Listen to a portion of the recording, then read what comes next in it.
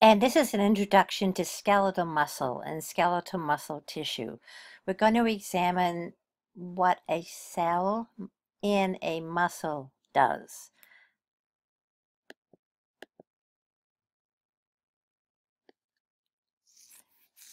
Skeletal muscle tissue or skeletal mus muscle is actually very long and it has striations dark light, dark light, dark light. And skeletal muscles do attach to the skeleton because that's how the skeleton is able to move through the contractions of the skeletal muscles, which are made up of many muscle cells. The striations are the light and dark banding pattern. Uh, skeletal muscles are voluntary, meaning that they are under a conscious control, and they are responsible for body motility. And they can exert forces from the very small to the very large. So a fraction of an ounce to over 70 pounds. So the function of skeletal muscles, and I do need to add that smooth muscles and cardiac muscles will be covered in A&P2.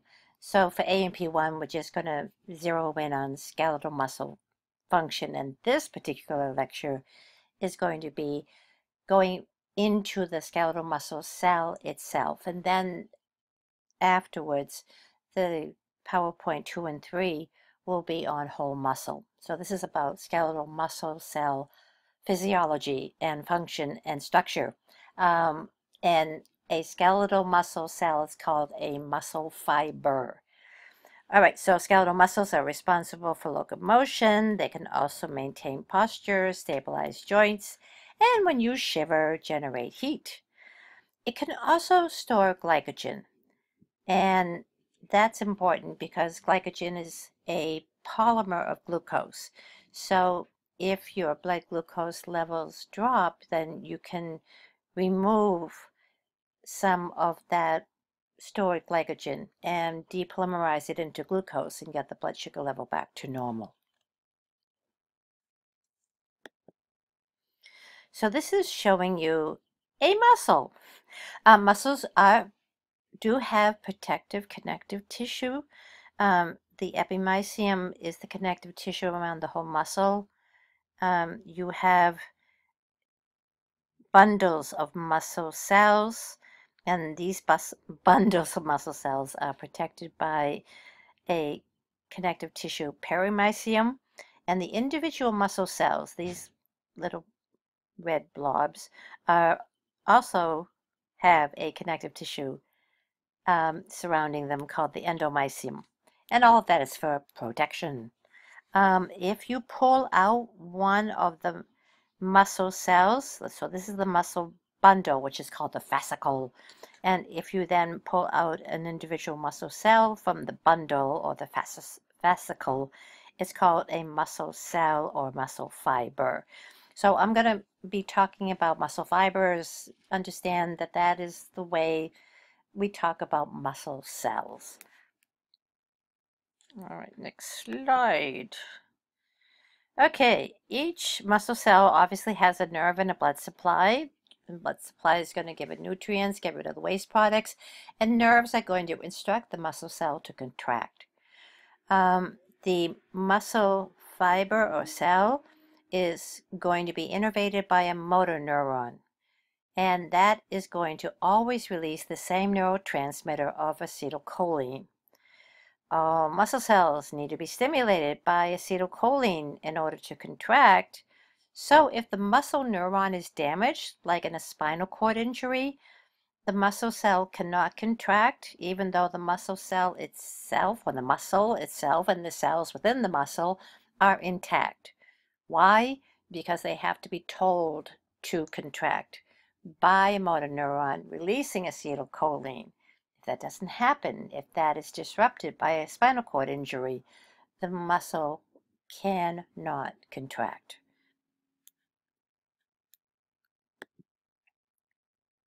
All right, so we're going to look at up close and personal the microscopic anatomy of a skeletal muscle cell. The thing about skeletal muscle cells is that they are very long. And the way they get long is during embryonic development, they're going to fuse a lot of individual cells to make a very, very long cell. And that is going, so every skeletal muscle fiber or cell is produced by fusion of embryonic cells, which allow the final multinucleated cell to be quite long. But if you have multiple nuclei, it's impossible to coordinate mitosis. There's just way too many nuclei in that muscle cell. So if you lose muscle cell due to injury, it's permanent. You've lost it, it's gone, it cannot be replaced. The cells that remain can bulk up and change their diameter, but you've forever lost the muscle cell. So here is one glorious muscle cell. And you can see the striations, the dark light, dark light, dark light. We'll talk about the contractile proteins in a second that make up the dark and the light striated patterns. This is showing that it's multinucleated. Here's a nucleus here, here's a nucleus there. Uh, the outer membrane, the plasma membrane, has a special name, and the cell or plasma membrane is called the sarcolemma. Um, there are mitochondria scattered throughout to get energy for muscle contraction, but look at the bulk of this muscle cell. The bulk of this muscle cell is, hold on, let me get back to this. There we go. Uh, is made up of these bundles of muscle fibers. And the muscle fibers in a muscle cell are called myofibers. It's it's confusing. I, I, I absolutely. So a muscle cell or a muscle fiber is composed of many muscle fibrils, which are made up of dark and light banding contractile proteins, which we will talk about very soon. In fact, we'll start to talk about it now. Um, scientists like to reduce everything to its smallest part or smallest unit. So the smallest unit of muscle contraction is called the sarcomere. Here we go, sarcomere. Um, it is the region of the muscle fiber between what are called two Z discs. The sarcomere is made up of two contractile proteins, thick myosin and thin actin. And we'll show you how they interact to cause muscle contraction or muscle shortening in a second. All right, so here's a sarcomere. And the sarcomere is defined to be that distance between two Z lines. So here's a Z line or a Z disc, uh, also called a Z line. And so you have a Z line here in blue and a Z line here in blue. And between the two Z lines is a sarcomere the smallest unit of muscle contraction. Here is where it gets confusing. There are only two contractile proteins, actin and myosin. And yet, muscles were first studied using a microscope, long before they knew about biochemistry and contractile proteins.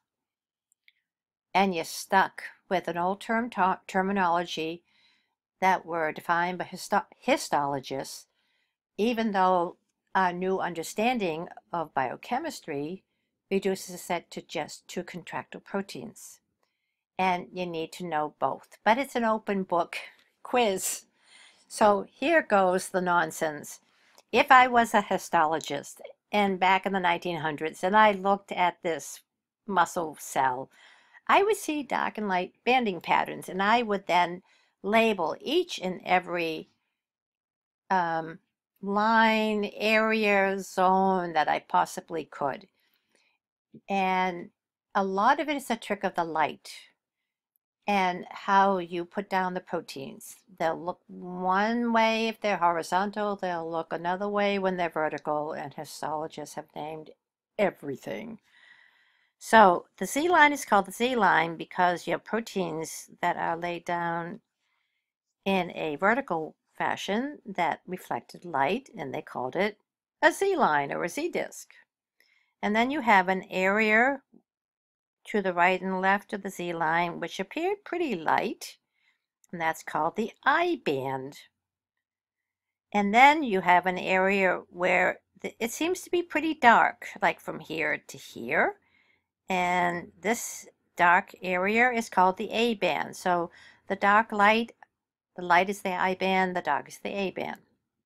Well, son of a gun, they found little subdivisions of the A band. This dark area right here is called the H zone. You, uh, I'm sorry, it's called the uh, this darkish area is called the H zone. This is actually just um, composed of the heavy myosin, and then the M line is in the middle of the sarcomere, the middle, middle, because here we go, Z to Z, and here's the M line, and that is an additional um, minor, minor, minor protein, but however, it looked much darker, so you gave it a name. So we have the Z disk to Z disk for the sarcomere. You have the I band, which is the light, A band, which is the dark, H zone, which is the darkest, and then the M line to define the middle. Okay, so what is it actually made up of? Sarcomere. Uh, the thin filaments are the A band, thick filaments are the I'm sorry, thick filaments are the A band, thin filaments are the I band. The Z disc anchor, they're, they're basically anchor, anchor points so that you're not going to have everybody sliding around. They're going to be anchored to something. Um, the thin filaments are your actin and your thick filaments are your myosin.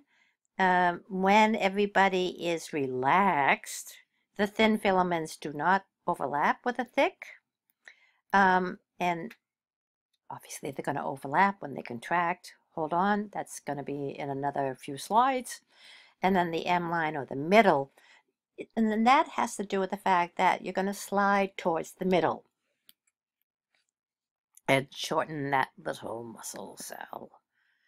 Okay, so this is showing you, you have all this terminology thanks to the histologist, and the biochemist would say, hey, look, you have a heavy myosin and you have thin actin, and they're going to interact and they cause the muscle shortening.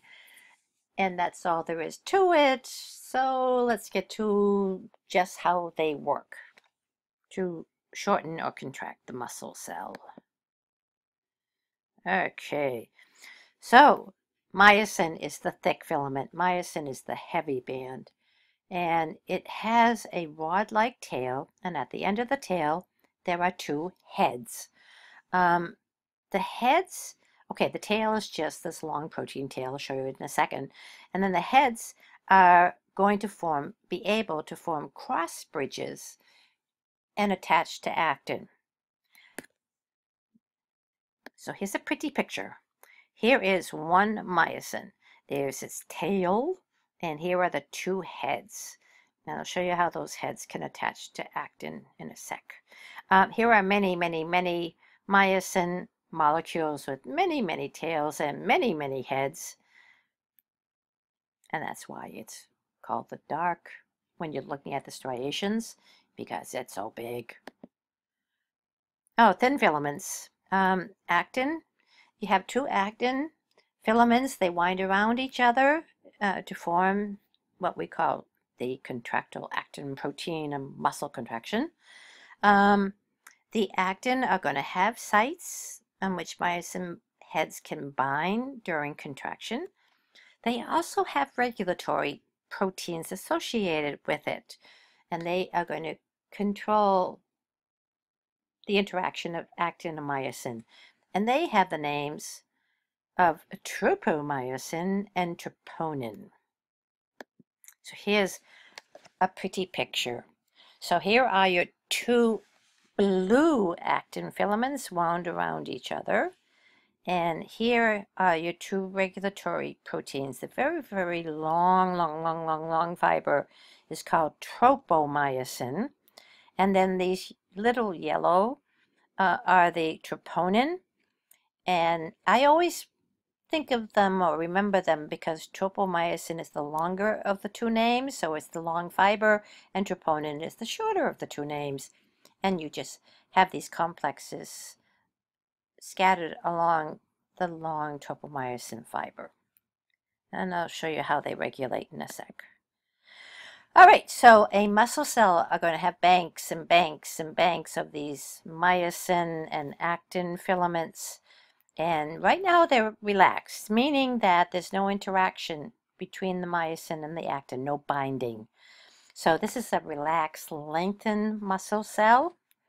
And this is a cross-section of a sarcomere. All right. How they interact is called the sliding filament model of muscle cell contraction, specifically skeletal muscle cell contraction. It says thin filaments slide past the thick ones so the actin and myosin filaments overlap and shorten the muscle cell. In a relaxed state, thin and thick filaments overlap only slightly. Upon stimulation, myosin heads bind to actin and perform a power stroke, which move the actin filaments towards the M line.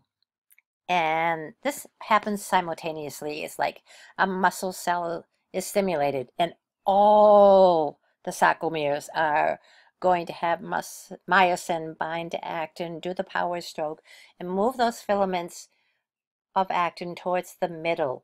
And as they slide towards the middle, they are going to shorten the muscle cell. And it's, it's all or none. Either all of them do it or none of them do it.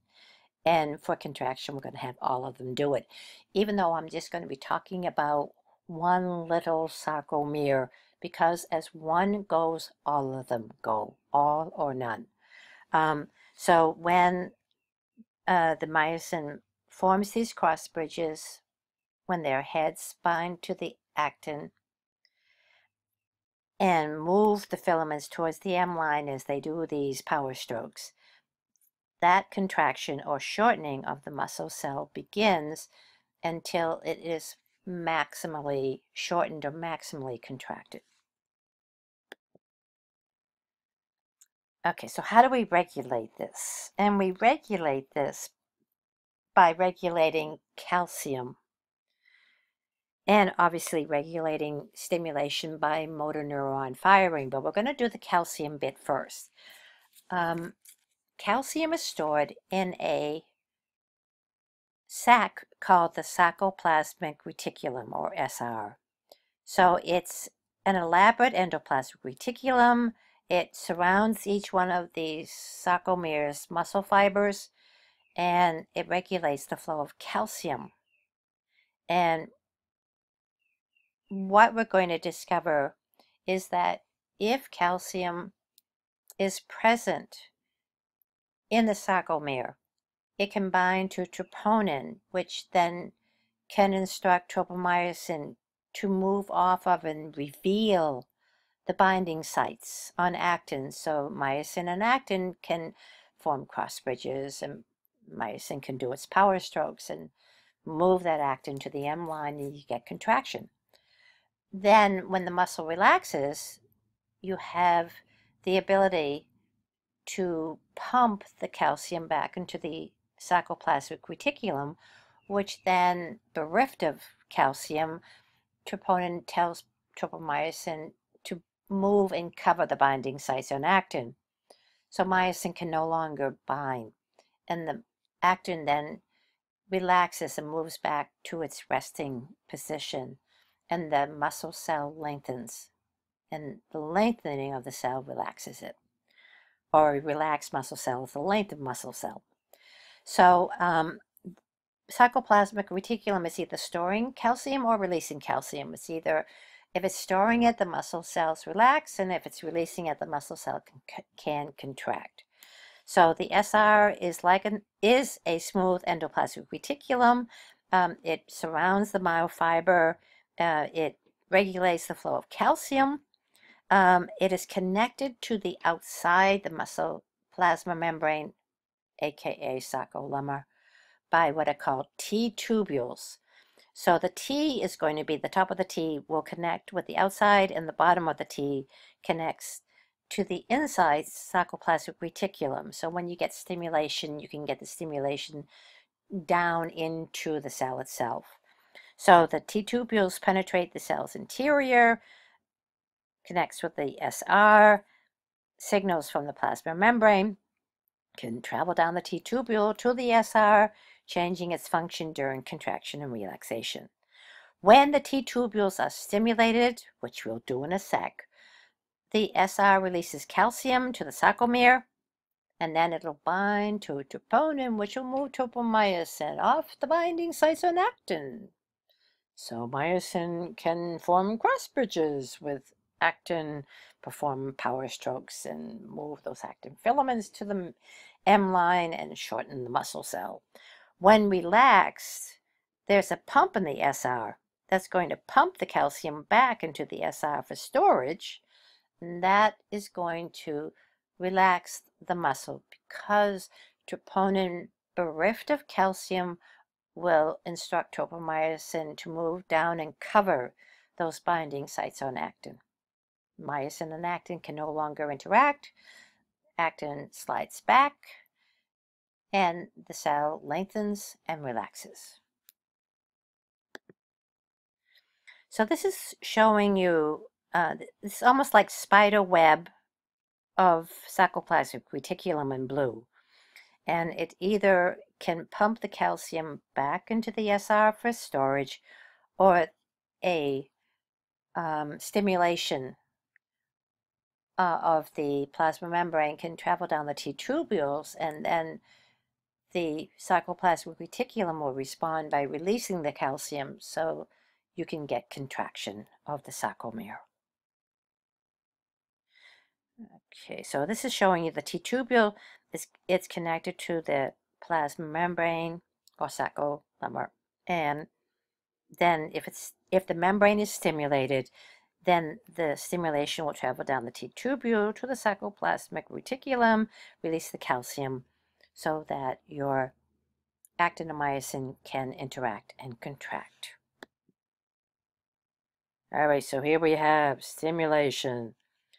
In order to contract a skeletal muscle, and we're now talking about muscle cells within the muscle, must be stimulated by a motor neuron, and the motor neuron ending is going to release acetylcholine, the neurotransmitter. That's going to bind to receptors on the muscle cell membrane, which in turn propagates an electric current.